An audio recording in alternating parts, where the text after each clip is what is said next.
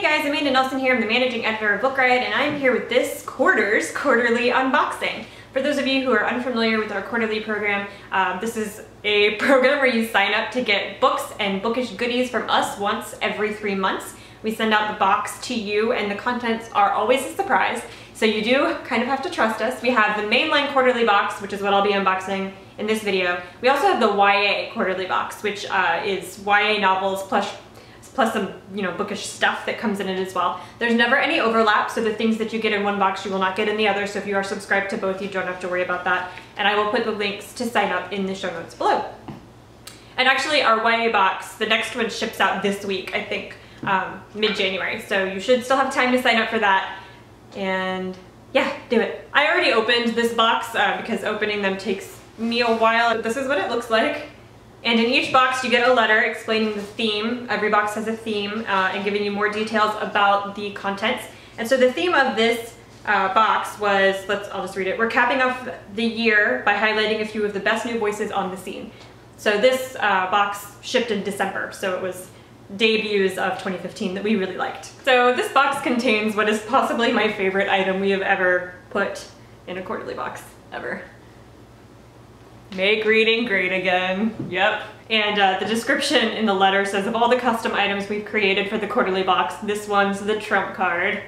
Election season is crazy, but reading is a non-partisan activity. So we teamed up with the people at The Strand, which is a bookstore in New York, to make these hats.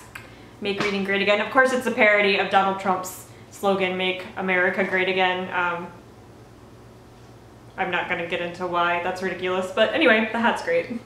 Also got some strand bookmarks. Okay, the two books that came in this quarterly box were Bright Lines uh, by Tanwi Nandini Islam, which is amazing. I read this last year and really loved it. And we actually recorded the first live episode of the Reading Lives podcast at the Strand with this author. So Jeff sat down with her and interviewed her on that podcast. And I'll drop the link to that uh, below. It was a really great interview. She's a really fascinating person.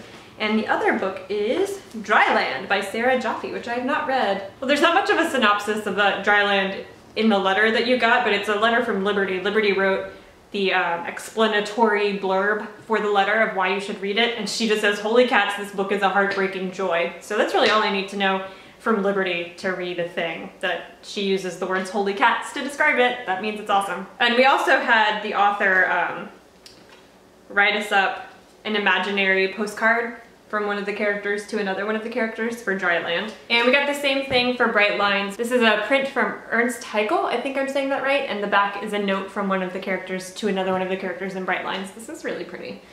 Frameable thing there.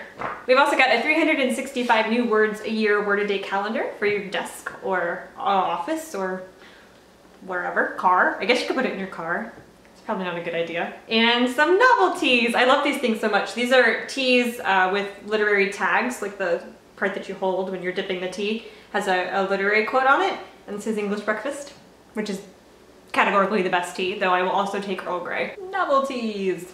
So that's it for this quarter's quarterly box. We've got two awesome debuts, some tea, a calendar, some bonus stuff, and the best hat that ever existed. There's also lottery items in every quarterly box, so if you our subscriber, 50 of the subscribers are getting a copy of I'll Never Write My Memoirs by Grace Jones, which is a bonus item.